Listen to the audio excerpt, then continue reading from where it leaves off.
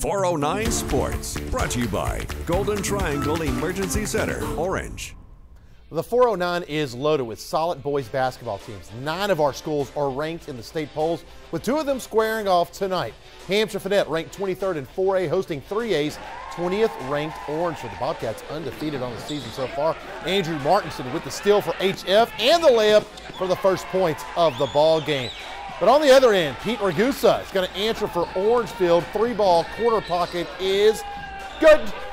Later on, Ragusa going to dish the ball out. Nice little dime coming up here to Braden Parker, who's going to drive and hit the floater for Ofield.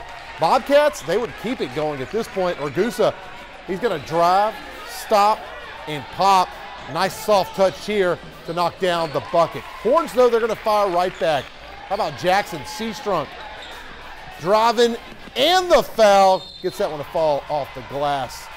Three-point play the old-fashioned way. More from Hamshire Fannett. This time it's Xavier Leger. This game would go back and forth all night long. In fact, it went to overtime in Hamshire Fannett. They pulled it out over Orangefield, your final with 74 to 71.